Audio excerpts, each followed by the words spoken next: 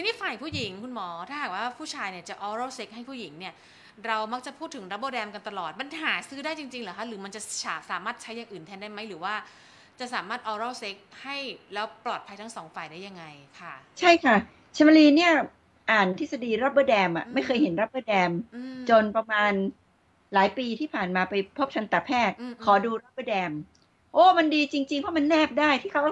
เอาแปะไว้นะคะค่ะสามารถหาซื้อได้ค่ะอ๋อ ก็คือมันเหมือนกับอ่าเหมือนกับอ่าพลาสติกใสนะคะค่ะแต่ว่ามันมันดีก็คือมันไม่ใช่พลาสติกใสนะคะ ก็มีคนพูดกัน แต่ว่าจริงๆแล้วชมรีไม่แน่ใจว่ามีการปฏิบัติแค่ไหนคือใช้พลาสติกใสเลยอืมพลาสติกใสที่ห่อของห่ออาหาร อย่างนี้ไหมคะ ใช่ห่ออาหารใช่ใช่ค่ะค่ะไม่ใช้พลาสติกใสเลย แนบเลยนะคะอ๋อบอกว่าได้ผลเหมือนกันเพราะพลาสติกใสนี่มันเหนียวพอสมควรนะคะค่ะแต่แต่มีเรื่องตลกที่บอกว่าใช้ถุงก๊อบแก๊บอันนี้คงจะไม่ค่อย นะคะดังนั้นก็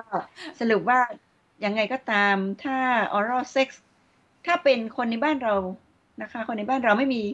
โรคติดต่อทางเพศสัมพันธ์แน่นอนไม่มีพยาธิอะไรก็โอเคค่ะ แล้วก็อีกอันหนึ่งที่ต้องเน้นไว้ก็คือเรื่องของรสนิยมค่ะเพราะว่ารสนิยมมันอาจจะไม่ต้องกันนะคะดังนั้นอย่าบังคับให้อีกคนหนึ่งทำ oral sex อืมอืมนะคะ อันนี้เป็นการข่มขืนนะคะอืมเป็นคดีอาญาทีเดียว ซึ่งน้องต่างก็คงจะเห็นเป็นท่าที่ เอามือจับหัวผู้หญิงเนี่ยอืมอืมเออเออเออค่ะ